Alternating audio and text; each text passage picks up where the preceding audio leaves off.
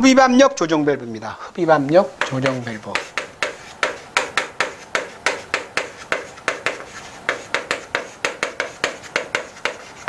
이거를 우리가 SPR이라고 표시를 합니다. SPR. 그래서 답은 2가 되어 있는데 거기서 1번의 중발압력 조절 밸브 EPR로 표시를 합니다. EPR. 요거는 뭐냐? 요거는 뭐냐? 중발압력이 중발압력이 그 일정 압력 이하 될 때 일지, 일정 압력 이하가 되는 것을 방지하는 것이 중발압력 조절 밸브다. 이렇게 보시고요. 그걸 EPR로 표시를 한다. 요 이니셜도 잘 기억을 하셔야 돼요. 요것도. 다음에 고압 스위치라는 게 있어요. 고압 스위치 3번에. 그럼 고압 스위치는 뭐냐? 이것은 우리가 high pressure switch 해갖고 HPS라고 표시를 합니다. HPS. 그 다음에 저압 스위치가 있어요. 이것은 뭐 low니까 LPS가 되겠죠. 이렇게. 그래서 고압 스위치라는 것은 고압이 고압이 일정 이상 되면은 압축기를 정지시키는 거예요.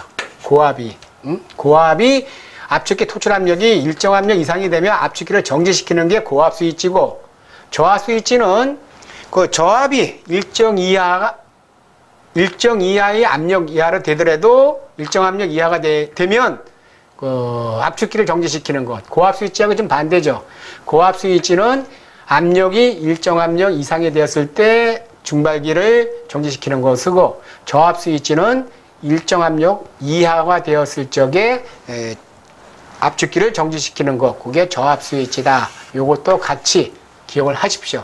이번에 아, 흡입압력 조절 밸브가 나왔다면 다음에는 요 세 중에서 또 하나가 나올지 모르겠죠. 그래서 겸해서 이런 거는 중요한 그 부속이니까 여러분께서 기억을 좀 해 두셔야 됩니다.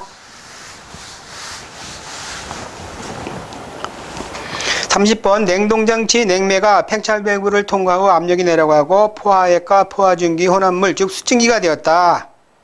습증기 중에 포화액의 유량이 7kg per minute일 때 전 유출 냉매 유량은 얼마냐? 이때 팽창 밸브 입구에서의 냉매 엔탈피 410, 팽창 밸브 통과한 후에 포화액의 엔탈피 54, 건포화 증기 엔탈피 500이다. 그러네요. pH 선도에서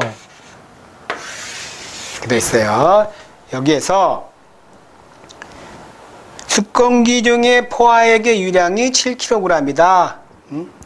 그 다음에 유출냉매의 유량은 얼마냐? 전 유출냉매 냉매. 그때 여기서 보면은 됩니다. 되는데 여기서 보면 포화액의 유량이 7kg per minute일 때 전 유출 냉매 유량은 얼마냐 겁니다. 그때 이때 팽창 밸브 입구에서의 냉매 엔탈피 입구에서의 팽창 밸브가 팽창 밸브 과정이죠. 여기가 증발 과정, 압축기 과정, 응축 과정이에요. 입구에서의 엔탈피가 얼마냐? 그것이 410이래요. 410. 10. 그리고 이때 팽창 밸브를 통과한 후에 포화액의 엔탈피 요 통과한 후의 포화액, 포화액이니까 이 선악을 만난 거죠. 요때 엔탈피가 얼마냐? 그게 54래요. 54. 그 다음에 건포화 증기의 엔탈피는 500이래요. 여기 건포화 증기죠? 여기 500이래요. 500. 이때 요 유량이요. 요 유량이 얼마냐? 그 유량이 7kg이래요. 분당. 분당. 그때 전체 팽창 맹부를 통과하는 유량은 얼마냐? 그 얘기가 되는 겁니다. 그 얘기. 그렇다면 호, 여기요, 요량. 요거는 이만큼의 액체 냉매와 이만큼의 증기 냉매가 섞여 있는 거예요. 그래서 혼합 냉매, 혼합 냉매액의 냉매 냉매 엔탈피요. 냉매액이 아니고 혼합 냉매. V 엔탈피는 엔탈피는 뭐예요? 결국 E. 그죠? 포화액 엔탈피. 포화액 엔탈피. 여기는 액체하고 이 증기가 섞여 있는 거 아니에요. 플러스 건포화 증기의 엔탈피.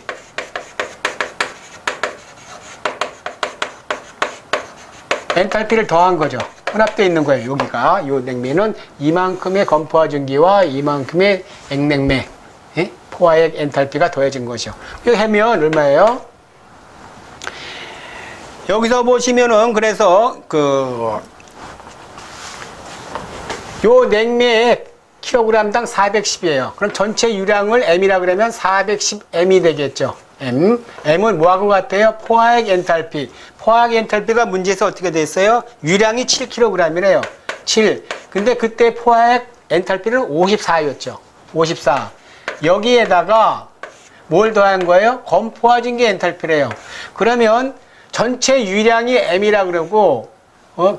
M이라고 했을 적에 포화액이 7이라 그러면 건포화전기는 얼마예요? M-7이 되겠죠. 7. 그때의 엔탈피가 얼마예요? 410, 여기요. 요거죠. 요 500이죠. 500. 건포화전기 엔탈피는 500. 요거를 풀면 됩니다. 요거를. 그래서 여기서 풀면은 이거는 그 뭐예요? 410M. 여기서 계산해서 풀면은 요거는 410m은 7 곱하기 54 플러스 500m 마이너스 3500 500 곱하기 7이 되겠네요.